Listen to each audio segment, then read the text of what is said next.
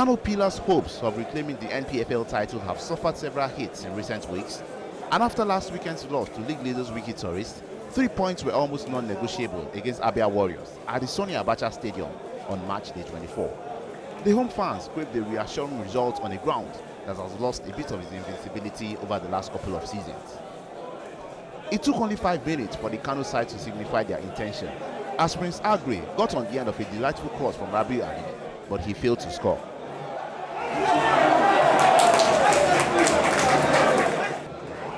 Minutes later, Pillars got their goal. Abia Warriors captain Otino Barako handled the ball in his penalty area and upstepped Rabiu Ali to talk home the spot kick.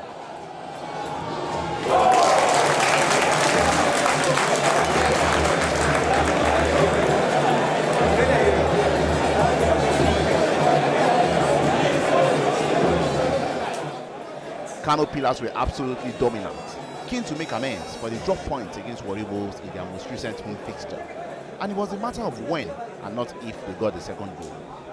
It duly arrived when new signing Razak Adegbite latched onto a good pass from Prince Aggreh to score his first goal for the team one minute before the end of the first half.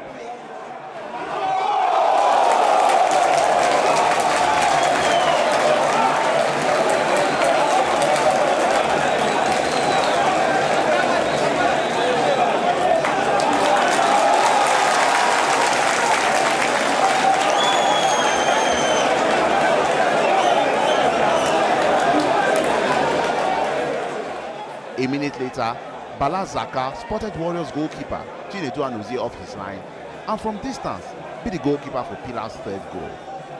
The route was on.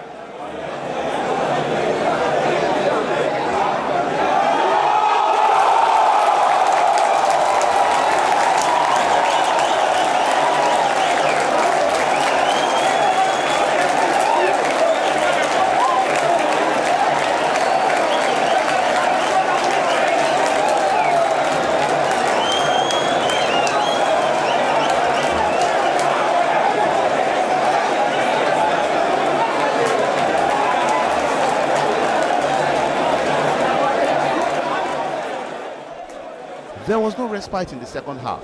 As just two minutes after the restart, Prince Aggreh had only the goalkeeper to beat, but he failed to add his name to the score sheet.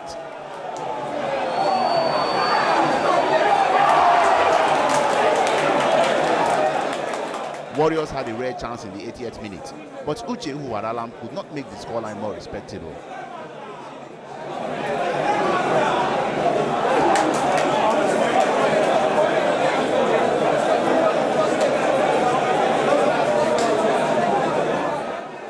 Minutes later, Rabiu Ali showed how it is done, turning Gambo Mohamed's cross for the fourth goal for Kano Pillars.